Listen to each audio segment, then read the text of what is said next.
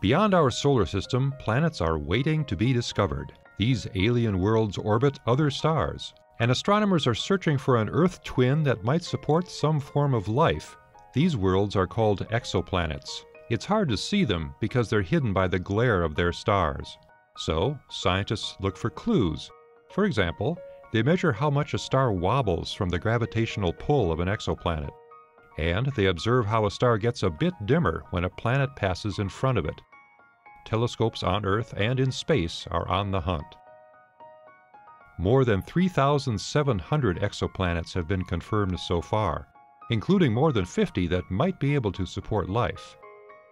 Astronomers are most interested in exoplanets about the size of Earth and that lie in the Goldilocks zone, where it's not too hot or too cold for water to exist as a liquid on the surface. Places in some ways very much like our own.